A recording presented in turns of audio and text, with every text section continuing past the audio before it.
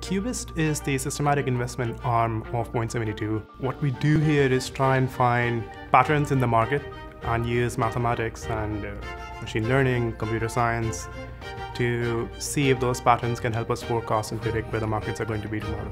Every day you come in, the markets are ticking, prices are all over, and the fact that you can come up with a strategy or some kind of a mechanism uh, wherein you find meaning in all this chaos and can actually capitalize on it, I think that's what uh, gets me going every day. I want to understand the underlying dynamics of it. There are unlimited uh, dimensions of the problem. The best part is always the eureka and aha moment.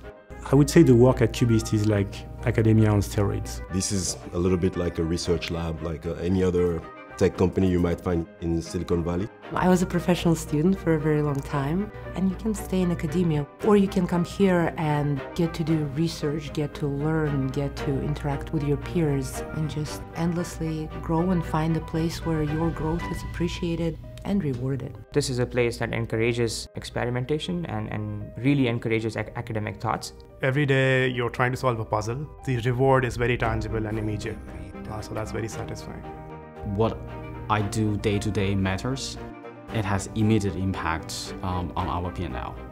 The culture here is pretty collaborative. It's you know a community of intelligent, highly intuitive people who are you know working towards a common goal of monetizing on fresh quant ideas.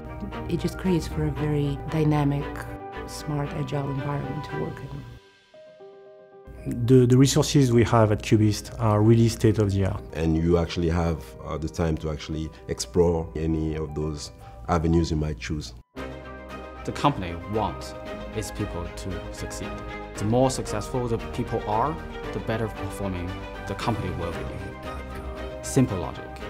I think Cubist definitely treats its employees really well, not just because it affords its researchers and employees a lot of freedom to do what they want to do, but also because I think people here really care about career path. One of the things that I like about this company is its focus on philanthropy. That's a big pro to me personally. Oh, I, I love working here. I think the two best things is it's research environment, it's ownership of what you're doing, and still there's somebody who can teach you about those things.